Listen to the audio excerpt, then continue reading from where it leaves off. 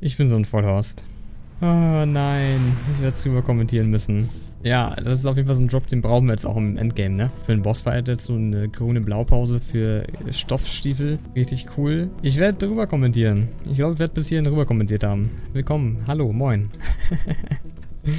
Oh nein, ich hatte meinen Sound gemutet, weil ich noch kurz was in der Wohnung gemacht hatte, bevor ich aufgenommen habe. So, jetzt geht's hier aber nochmal... Was, wo, wo, wo, hier kam gerade irgendwas gespuckt. Wo ist das Spuckvieh? Wo ist das Spuckvieh hier? Das will mir wieder meine Rüstung kaputt machen, aber so nicht, Freunde. Oh, jetzt habe ich aber auch gut Damage genommen, tatsächlich. Zweimal anspucken. Oh, habe ich noch meine Lederrüstung mit? Ja, zum Glück. Das wäre halt richtig unnötig. Der wird nämlich gleich nochmal spucken und dann ist nämlich sein hier. Aber ich sehe leider nicht, wo er ist. Das ist eine normale Spinne. Äh, Schlange, meine ich.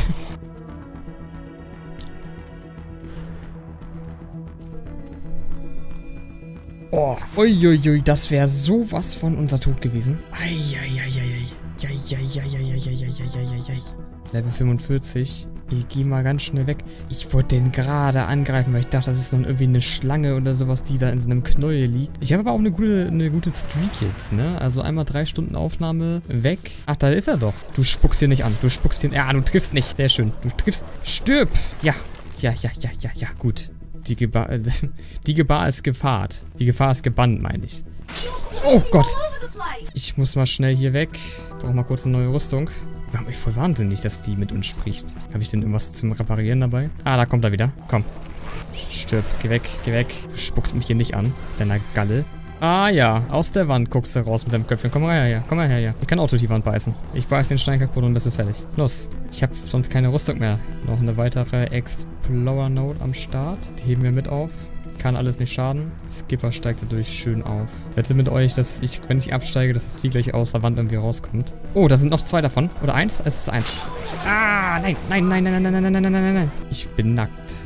Und ich habe übelst viel Damage genommen. Erstmal heilen. Also wir müssen eh zweimal rein, um das Artefakt zu bekommen. Zweimal. Ich glaube, ist denn da, ist da noch irgendwas unten im Wasser? Ich würde es jetzt... Oh, verdammt. Verdammt. verdammt das macht mich wahnsinnig. Ich gehe hier raus. Oh Gott.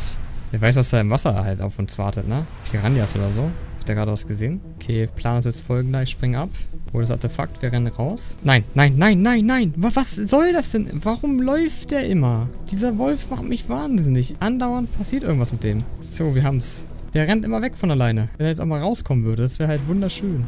Ich habe gar keinen Damage genommen. Das war Skipper, der den Damage genommen hat, sehe ich auch gerade, oder? Ah, das macht mich wahnsinnig. Eben auch schon auf dem Berg draußen, der leider nicht, also nicht kommentiert bekommen von mir, aber hier unten im Wasser könnte noch irgendwas sein. Ich weiß aber nicht, ob da noch ein Drop ist oder nicht. Wir gehen erstmal raus, weil das ist ja hier der Drop. Den kannst du ja komplett knicken. So ein paar Fasern. Dann kommen wir nochmal wieder rein. So, einmal der Leck des Todes. Das macht mir natürlich Mut, dass da jetzt ein Para rumrennt. Voller Angst. Ja, Flakrüstung hat sich auf jeden Fall gelohnt mit der Haltbarkeit. Da wäre man eine etwas bessere, ganz cool. Ein Agi. Ich bin ja komplett nackt gerade, ne? Also alles, was irgendwie Schaden machen könnte, macht auf jeden Fall Schaden. Warum? Ich muss doch eh erstmal alles rauskriegen, das Artefakt nach Hause bringen. Dann kann ich erst wieder herkommen. Weil ich ja nur eins zurzeit im Inventar haben kann. Skipper könnte...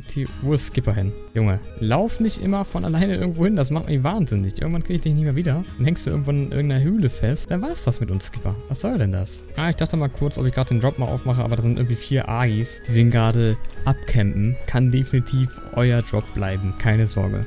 So, wir sind zurück. Wir gehen jetzt nochmal rein und holen nochmal das zweite Artefakt raus. Das ist ja ganz, ganz wichtig, damit wir die Bosse vernünftig machen können. Das ist aber jetzt eng gewesen. Eieiei, sind das viele. Wollte doch nur gucken, ob da eventuell noch ein Drop drin ist, Freunde. Braucht doch nicht gleich diese aggressive. Was ist das? Ein Riesenvieh da in der Mitte. Ich glaube, hier ist tatsächlich einfach gar nichts drin. Das ist nur, wenn man da reinfällt, dass man halt ordentlich leben lässt. Hat ja auch fast geklappt. Halbes Leben war runter eben.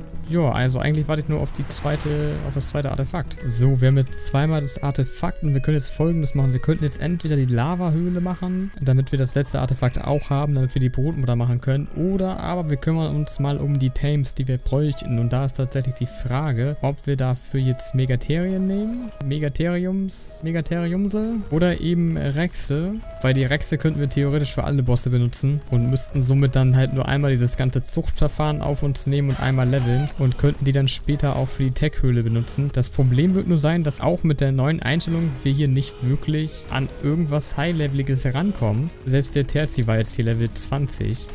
Was momentan ein bisschen nervig ist, ehrlich gesagt, weil ich möchte halt irgendwie die Bosse machen und wir haben dafür alles gemacht. Ich bin Level 96, aber so wirklich was Großartiges, was man jetzt benutzen könnte, ist mir jetzt hier noch nicht über den Weg gelaufen. Ich würde sagen, wir gucken jetzt mal ein bisschen im Redwood nach, ob wir da irgendwas finden, weil ja, irgendwie drei Stunden halt rumlaufen, um kein Dino zu finden für den Bossfight, ist halt sehr unbelohnt und alleine das Züchten wird ja auch nochmal eine Zeit in Anspruch nehmen, was ich wahrscheinlich auch zum großen Teil eben offline machen werde sozusagen, also ohne Aufnahme, weil das ja nicht so spannend ist einfach, ne? Damit wir einfach vorankommen und ihr wirklich den spannenden Teil dann auch aus diesem, aus diesem Let's Play habt. Das ist so mein Anspruch, deswegen müssen wir mal gucken, ob wir da irgendwas kriegen. Ich mache jetzt auch davon abhängig, was wir zuerst finden. Wenn wir jetzt einen guten Megatherium zuerst finden, dann werden wir Megatheriums zähmen. Wenn wir einen guten Rex zuerst finden, werden wir Rexe zähmen. Es sollen ja zumindest hier auch Megatheriums äh, rumlaufen. Ja, ich weiß, im Schneebiom vermutlich ist die Wahrscheinlichkeit da auch höher, dass wir da jetzt einen antreffen, der irgendwie gut ist. Was, ein Textigosaurus Level 180 war der? Level 100... Hä? Was gibt... Was verstehe ich denn jetzt hier nicht mehr an dem Spiel? Warum denn Level 180? Und der Haken ist doch beim Maximallevel auf 150 gesetzt sogar. Ich verstehe dieses Spiel teilweise nicht. Auf der einen Seite hast du dann hier so ein Megatherium, Level 20, aber ein Textego Level 180. Ja, alles klar. Oh, ein Rex. Lass mich raten. Level 25. Mir schlottern die Knie. Level 45, Alter. Da brauchst du gar nicht brüllen, du machst jetzt einfach mal die Biege. So. Ein Rex auf Level 55. Wir steigern uns so langsam rein in das Level 150. Der Stego Level 180 machen wir immer noch fertig, ehrlich gesagt. So, komm mal her hier. Einmal gebrüllt und gleich bist du weg vom Fenster. Hier, ab, runter mit dir den Berg. Weg. Den farm ich jetzt auch nicht. Aus Frust. Level 95er Rex wir kommen der ganzen Sache schon näher. Ich sage ja, wir steigern uns so langsam hier rein. Wobei reinsteigern wahrscheinlich der falsche Begriff ist. Wir steigern uns so langsam. Wenn ich mich hier reinsteigern würde, dann sähe das anders aus von der Sonne. So, wir machen den auch mal platt. Einfach nochmal ein bisschen Platz schaffen hier. Okay, pass auf. Das Ding ist jetzt folgendes. Wir haben jetzt die Höhle gemacht. Wir bräuchten noch eine Höhle. Dann können wir die Brutmutter besiegen. Beziehungsweise könnten halt theoretisch anfangen, sie zu besiegen. Wir brauchen jetzt immer noch die Dinos. Habe ich jetzt eingehend schon mehrmals erwähnt. Was werden wir jetzt machen? Ich bin jetzt schon ein bisschen rumgeritten und habe halt keine Dinos gefunden. Das werde ich bestimmt irgendwie reingeschnitten haben damit hier irgendwie eine sinnvolle Folge draus wird, weil ich hier Genius ja mal wieder 20 Minuten lang aufgenommen habe, ohne dass ich meine Stimme mit aufnehme. Ärgert mich ein bisschen, dass das jetzt zweimal in Folge passiert, vor allem mit dieser dreistündigen Aufnahme vom letzten Mal. Auf jeden Fall habe ich mir jetzt was runtergeladen. Das nennt sich Dino Finder Mod und damit können wir jetzt, ich probiere das mal eben ein bisschen aus, theoretisch jetzt hier lang fliegen und uns werden viele Dinos angezeigt, die hier so rumlaufen und wir sehen erstmal, ob da überhaupt ein Rex mit bei ist oder nicht und was die für ein Level haben. Also ob wir da hin müssen oder nicht, ob das jetzt überhaupt lohnt. Und das würde ich, glaube ich, nächstes Mal in der nächsten Folge einfach machen, dass wir eben Dinos suchen, die wir zähmen können, damit wir sie züchten können, damit wir auch den Bossfight machen können. Weil das hat sonst andersweitig, glaube ich, gar keinen Sinn. Also wir sehen das jetzt hier ist natürlich super OP. Gar keine Frage. Habe ich auch eben lange überlegt, ob ich das machen soll oder nicht. Aber wenn wir hier vorankommen wollen und es geht ja eben darum, Ark Storytime, die ganze Story von Ark einmal durchzuzocken im Singleplayer, möglichst Vanilla-lastig, also das heißt, sich nicht zu viel zu erleichtern. Das ist eben eine sehr, sehr große Erleichterung. Aber wenn wir mal ehrlich sind, ich habe jetzt nicht unbedingt Lust, hier vier, fünf Stunden rumzufliegen für einen Rex. Und dann brauche ich ja noch einen zweiten und einen dritten und einen vierten. Ich glaube, trotz dieser Mod werden wir immer noch lange rumfliegen, um dann letzten Endes was zu finden. Damit können wir auf jeden Fall schon mal das Gebiet besser durchkämmen, sehen, ob irgendwas Interessantes da ist und ich würde sagen, das machen wir nächstes Mal auf jeden Fall. Ihr könnt ja mal eure Meinung dazu in die Kommentare hauen. So den Alpha-Kanon nehme ich jetzt zum Beispiel nicht mit, weil den hätte ich ja sonst nicht entdeckt. Es geht mir jetzt wirklich nur darum, dass wir das einmal nutzen, damit wir Rexe finden. Weil jetzt hier sieht man Alpha-Raptor, das ist halt schon extrem OP einfach. Die Mod, wenn ich sie jetzt normal benutzen würde, könnte ich ja jetzt hier alles nach Alphas durchkämmen und super leveln. Was geht denn hier ab?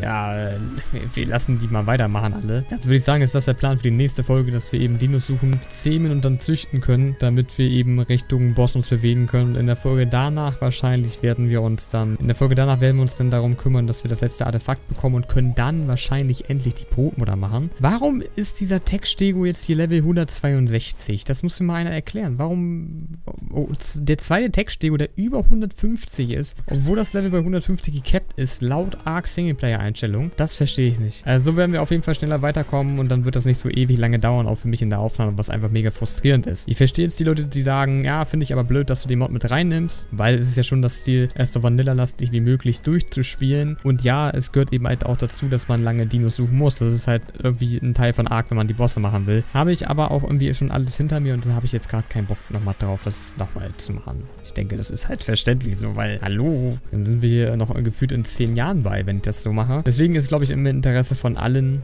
dass wir das so machen. Sobald ich die Dinos habe, die ich haben muss, die ich brauche, damit wir diese ganze Zuchtgeschichte starten können, kommt die raus, die Mod, beziehungsweise ich benutze sie dann einfach gar nicht mehr. Wir müssen das dann natürlich auch ein bisschen aufteilen, dass wir jetzt nicht irgendwie drei Folgen nacheinander nur Dinos suchen, weil es ja auch irgendwie langweilig. Aber so werden wir das, denke ich, machen. Wie gesagt, ich war ja im Redwood unterwegs und so können wir halt mit dem Agi, der halt gut auf Speed gelevelt ist, hier durchballern und mal gucken, was abgeht und gucken, dass wir da irgendwas Vernünftiges rauskriegen. Ich werde die, wie gesagt, nicht dazu benutzen, um irgendwie zu leveln, was jetzt halt irgendwie auch komplett egal wäre, weil wir sind Level 96. Dann würde ich sagen, das war's soweit. Ähm, sorry dafür, dass ihr nur die halbe Höhle gesehen habt heute. Das tut mir tatsächlich sehr leid. Ärgert mich auch ein bisschen.